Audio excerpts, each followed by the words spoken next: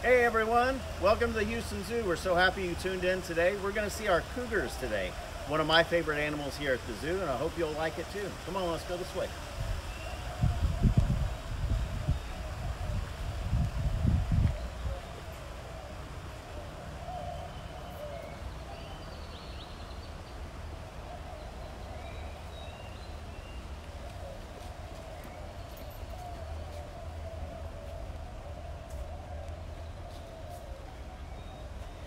So we have two cougars at the Houston Zoo. We have Haley and Shasta, and we're gonna call them down to the front right now, and you'll see them come down. Shasta, for all those that are U of H alumni or students, he's your mascot. So this is Shasta number six. He's been here at the zoo since 2011, and if you look up at the top, you can see he's coming down from the top of the exhibit. One of the things that's so cool about cougars is their ability to climb and also their camouflage. Look at him. Do you see him? He's going across the log there at the back of the exhibit, keeping a close eye on the keepers, and you're gonna see him just come down right to the front towards us. But everything he does is pretty dramatic, so he has to make an appearance whenever he's walking this way to make sure that he's coming up here and he's gonna sneak around the corner. We should see him in just a few minutes. I see him coming down the rocks on the far side. And then we have another cougar out here that we'll see a little bit later. If you look all the way up at the top, do you see her coming down? That is Haley. So Haley is my all-time favorite animal here at the zoo. And she's gonna come down right on top of this rock to see her keepers right up here. So you might hear me calling them cougars. So cougars go by a lot of different names. They go by cougar or puma, or panther or mountain lion. So they have more names than just about any other cat. And it's because they have such a large range. They start off all the way in Canada and go down through the United States, the Western United States, down into Central and South America.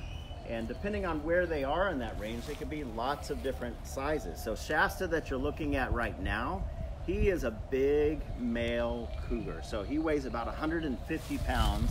And Haley is a little bit smaller. That's the other one that you saw out here. She's just a little over 100 pounds. What the keepers are going to do right now is offer them a few treats, and some of their favorite treats are goat's milk. You can see them squirting some of the goat's milk directly into their mouth. And then a little bit of meat also, because these guys are definitely carnivores. They eat meat and a little bit of diluted goat's milk just as a special treat. One of the things that you may see as his tongue is sticking out back and forth uh, like that, you could see his teeth. They have really big, really sharp teeth because these are one of the top predators that we have here in Texas and throughout the United States. So they will hunt after things like deer uh, or even th something as big as an elk. So when his tongue was sticking out there, you could see they do a pretty good job of licking that milk into their mouth and they have little barbs that may be kind of hard to see uh, that's on their tongue. Courtney, I don't know if you could get it uh, closer, but you may be able to see his tongue itself and as it's sticking out, those little barbs that are sticking out on his tongue, that helps him to lick the meat right off of a bone or lick milk or even use it as a comb. It's kind of funny cats have a comb that is on their tongue. So they'll use that tongue with the little barbs called papillae and they will groom themselves to keep themselves nice and clean. So after they finish eating here a little bit later, you might see them grooming themselves uh, to get that milk that splashed up on their whiskers or their face or their paws. Oh, and there is Haley. Haley has a lot to say. So one of the things that's kind of neat about cougars is cougars uh, don't roar like some of the other big cats. In fact, they're big cat in size, but small cat in a lot of other ways. So they will make sounds like you heard Haley there with hissing or spitting, but they can also purr. They're one of the largest cats that can purr. So like the cheetah that you saw earlier uh, in the week was purring, cheetahs can purr too. And they can growl and they can hiss and they even make a screaming sound. So sometimes that cougar scream that you hear will carry far through the mountain areas and kind of ricochet off the rocks. And that can be heard as they're kind of announcing what their territories are. So I'm sure probably most of you here have never seen a cougar here in Texas, even though they do live in western part of the state. That's because they do a great job at avoiding people. So a lot of times they will uh, see people coming and they'll disappear far into the mountains or into the trees. So Elias, I hear uh, that you have a question here and it's how fast do they run? They are incredibly fast. So cougars can probably run about 40 miles an hour because you got to think some of the animals that they're chasing after are really fast too. So as they're hunting after white-tailed deer or rabbits, uh, even peccary that can be really fast, they have to run really fast. What they'll do is they'll crouch down and like you saw Shasta at the beginning, kind of moving up, stalking in a manner to get really close. They'll get within about uh, 40 yards, 50 yards of the animal, and then they'll spurt out in a dash about 40 miles an hour. So one of the things that's kind of neat about cats, you can see Haley up here on the rocks, and you see her back foot, and you see how it looks like she has a knee that is facing backwards. That's actually her heel. So cats are toe walkers, so they walk on their toes, and their heels are up in the air. But they have, cougars have one of the largest hind legs out of the cat family, which allows them to jump really, really fast and uh, run fast too. So Bethany, you want to know if they live in groups. Normally, cougars are not a social animal, so most of the time you'll see them out in the wild. They are by themselves. They have seen females with cubs stay together for a pretty long time and kind of frequent the same areas but most people consider them to be uh, solitary. Here, Haley and Shasta uh, get along fine, although Haley has her uh, bubble. Just like we are all social distancing right now, Haley has a social distance bubble too, and she tells Shasta exactly how close she could be to her. And if he gets closer than that, she'll hiss at him and he'll back away. Uh, so Pearson is wanting to know if they are endangered. So cougars or mountain lions as a whole are not endangered, but there are parts of the population that are extremely endangered. So there is a subspecies or a type of cougar that lives in Florida, and they call them Florida panthers, uh, that there's not very many at all. So those are definitely highly endangered. But cougars throughout the rest of the range are not, although we don't really know how many there are out in the wild. Donald and Jeremiah is why do they have whiskers? So cats have these great whiskers, and you'll see that on all cats, and it sticks out to the side of their face, and they use that as they're traveling through the dark or through tight canyons or through a forest. If their whiskers can fit through something, usually their whole body can fit through. So that's just an extra thing they have to help guide their way uh, through the habitat as they're walking. Alora what do they prey on? They eat so many different kinds of animals. So they can eat anything as small as a rat all the way up to something as big as an elk. So most of the prey is probably something the size of like a white-tailed deer or a peccary, small pig, rabbit. Uh, and it just depends on where they are in, in their range. The cougars that are up really far north and south hunt after bigger animals. The cougars that you find in the tropical areas usually hunt after smaller animals. Are they related to cheetahs or jaguars? That is a question that we have from Destiny. That's a great question, Destiny. They are not really that closely related to jaguars, although they're very similar in size in a lot of ways, but they are more closely related to cheetahs. So cheetahs uh, that you saw on one of our early uh, broadcasts also is a big cat that can purr. And believe it or not, once upon a time there were cheetahs in North America. So cougars and jaguarundis and cheetahs are uh, all animals that are somewhat similar or close, kind of like a, a cousin to each other. We definitely want to say hi to all of our University of Houston fans out there. Go Cougs! This is Shasta, your mascot right here. So Shasta's been here since 2011, and this is Shasta number six. And we appreciate you guys uh, tuning in. Cougars are definitely one of our favorites because they're also our kind of local hometown favorite football team, right? Go Cougs. Vanessa, what is their favorite toy? Danielle uh, may also want to talk about uh, some of their favorite enrichment items.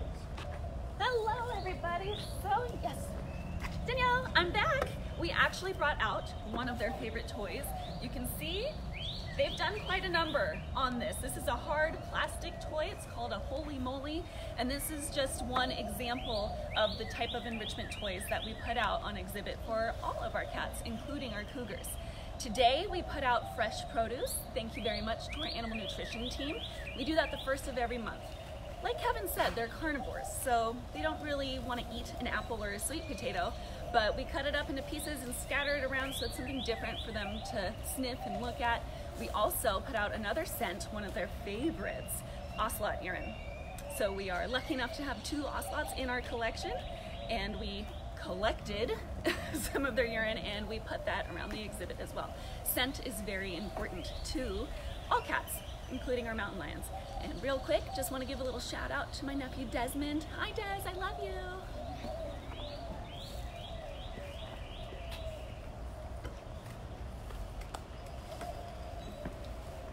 Jessica would like to know, can cougars jump high? Yes, they can, Jessica. Cougars have the ability to leap about 16 feet straight up in the air. So as you look at our exhibit, you will notice there is mesh up top because they are excellent climbers and leapers. And they can jump about 45 feet across. So that's about the length of a school bus. You'll notice they have longer hind legs, very powerful hind leg muscles, um, longer than their forelegs. And that's part of what gives them such incredible leaping power. So something that is kind of interesting about cougars is cougars are not bred in zoos. There's a need to take on orphan animals uh, whenever something happens to their mom out in the wild, and that is how both Haley and Shasta came to us. So Haley uh, was born in Idaho. We're not sure what happened to her mom uh, in the wild, but a uh, man and his son were driving down the road and they saw this baby cougar on the side of the road near some bags of trash and he took it to Idaho Fish and Game.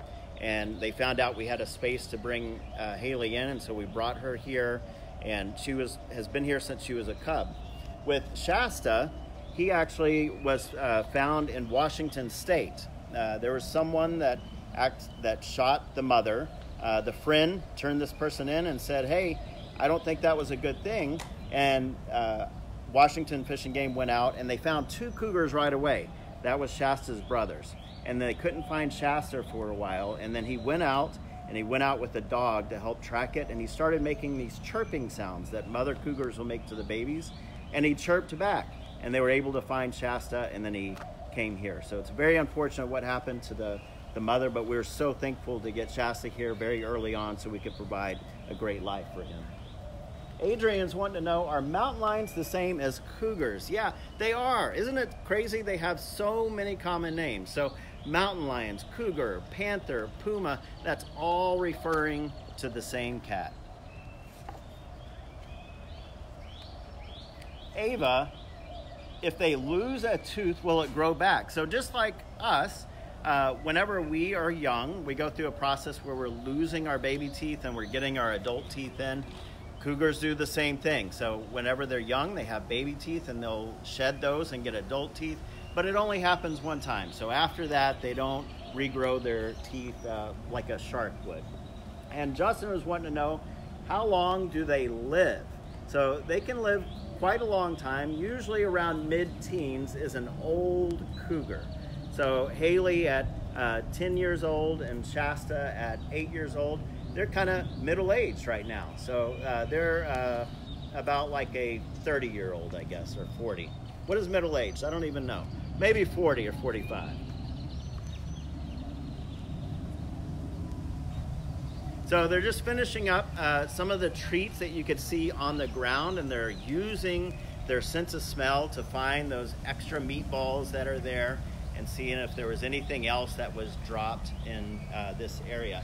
And with the two of them there, you could probably see the difference in size. Male cougars are quite a bit bigger than what females are. So Shasta weighs about 50 pounds more than Haley does.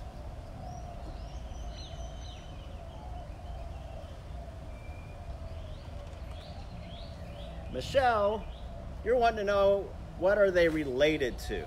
So, what are they related to as far as other cats? Uh, is they're related to cheetahs and jaguarundis. They're not really that closely related to anything. They're they're kind of in their own family. Uh, Puma concolor is their uh, Latin name, but they are a little more closely related to cheetahs and uh, jaguarundis. If you guys want to get a little bit more up close and personal with our mountain lions, even though you can't quite come and visit us yet, you do have a variety of options on our website. You have the opportunity to symbolically adopt many of our animals, including Haley and Shasta, and we do also sell animal art. So we paint with our cats. They'll go ahead and put their paws in paint and put it on a canvas. So go ahead and check out our website, houstonzoo.org, if you'd like more information. So Amanda is wanting to know how do they hunt or stalk their prey? So whenever we first walked up to their habitat, you probably saw they were hiding on the rockwork in the back and they almost were invisible. They do such a good job with camouflage, with them blending in to the rockwork in this exhibit. It's really hard to see. So they, whenever they're stalking, they get as low to the ground as possible. They like to keep lots of other rocks and trees and bushes in, in between them and the other animal, and they're very patient. So they will wait and inch closer, just a little bit at a time, a little bit at a time. When they're within uh, 30 or 40 yards or less, they will take that opportunity to jump out when the animal's not looking and chase them down. And they're really efficient predators. So if they catch up to something, they'll usually trip it and then they'll jump on it uh, pretty quickly. So they are some amazing carnivores and they do such a great job of hiding and stalking. Catherine wants to know what are we feeding them? So there was a couple of different things that we were giving them. One was a meat, and it's a commercially prepared diet specifically for big cats like this and we were also giving them goat's milk. So goat's milk is uh, something that's a special treat. And if you could look in there, uh, we also have fish in there too. You know what? They like eating all kinds of meat. So they are definitely a carnivore. If there's meat, or if it was meat, or if it came from an animal that, uh, then they like it. So goat's milk, eggs, fish, meat, those are all some of their favorite treats. Kim is wanting to know what the size of their enclosure is. So if you look at the habitat that we have right here, you can see one of the things that's really important for cougars is to have a lot of vertical space. Since they're so great at climbing and maneuvering around, uh, the exhibit is over 25 feet tall and they can get all the way up to the very top of it and jump around on the trees and the branches. And sometimes they even stalk animals like squirrels or birds if they happen to fly in there. So they can definitely maneuver around their exhibit. And even one of the things that's pretty neat here is they can jump on a cave that has a glass window at the top. So if you ever by the zoo and you see them laying up there, you could walk into that cave, look up, and you could see their belly as they're laying on top of that glass, right on top of where you are. Avani, can they roar? So no, that is something that cougars can't do. Like other big cats, jaguars, leopards, lions, tigers, they can all roar, but they can't purr. Cougars can purr, but they can't roar, and they also make a screaming sound. But the general rule of thumb is if a cat can purr, it can't roar. If it can roar, then it can't purr. So the cougars that we have here, we have Haley and Shasta. And Haley's about uh, 10 years old, and Shasta is 8 years old. And uh, Haley came to us from Idaho, Shasta from Washington, and they each weigh over 100 pounds. Haley's about 105 pounds, and Shasta's about 155 pounds. Kinsey is wanting to know how long are their claws. Their claws aren't really that long, like you would think of a bear's claws that really stick out from their paws, but they're incredibly sharp. So one of the things that cats do in order to keep their claws nice and sharp is they're retractable. So whenever they're walking, their claws usually aren't out.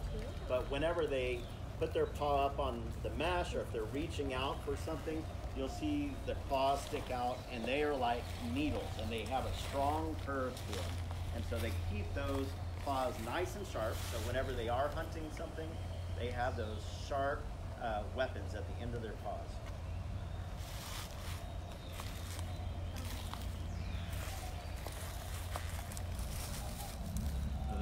Close up of Shasta. You can always tell what Shasta is up to or thinking depending on what his tail is doing. Sometimes when he's acting a little bit mischievous, you'll see his tail bouncing around back and forth.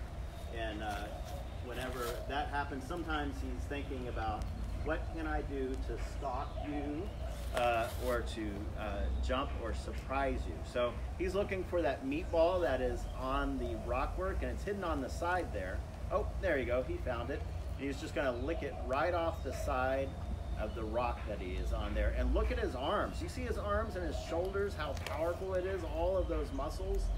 They are so, so strong. So a cougar that weighs 150 pounds could take down something the size of an elk. They are just such incredible predators. Do they come in other colors based on habitat? So the cougar's Latin name is Puma concolor. So it's basically a cat of one color. And you don't find that with too many other cats, but lions that you have in Africa kind of have that one color, and cougars do, do also. And they can have different shades, but this is basically what you see with cougars, is the color you see here.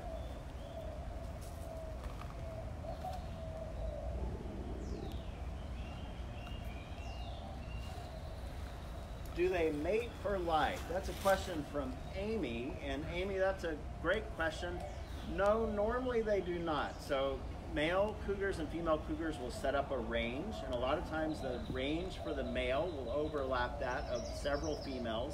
And if the female likes the male enough, uh, she will have him around for a while. And as soon as she thinks that he needs to move on, she will have him move along his way.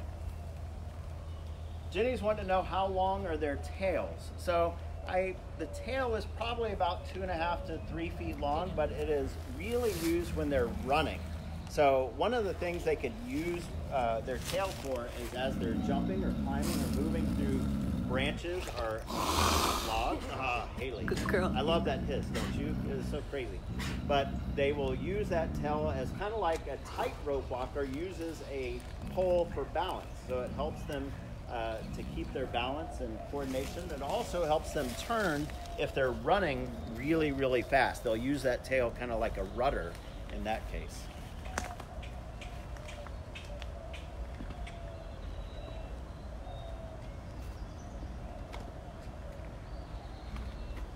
So, hello. I was uh, playing camera woman for a hot second there. But I know Kevin was talking earlier about how he loves to come out and talk about the Cougars. They're some of his favorites. I have a big place in my heart for cougars as well. A lot of us come to the zoo because we want to see the exotics, right? We want to see the lions and the tigers and the elephants. Don't get me wrong, I love them. But if you're looking for an opportunity or a species where you can help out, we have cougars right here in Texas, Western Texas. They have the largest geographic range of any terrestrial mammal in the Western Hemisphere. So that's a mouthful, right? But basically, cougars are found all over, like Kevin said earlier North America, South America, Central America, and they can live in any environment deserts, swamps, forests. My native home, California, they have the most famous mountain lion in the world, P22. He lives in Griffith Park, right in the middle of Los Angeles. And that is a big urban area, just like Houston, that is working to live alongside wildlife. They're building the largest wildlife overpass in the world. So, as you find yourself at home needing something to Google, check that out. But a lot of people are afraid when I say that we have cougars nearby. Just so you know, you are way more likely to perish in an airplane crash than you are through a mountain lion attack.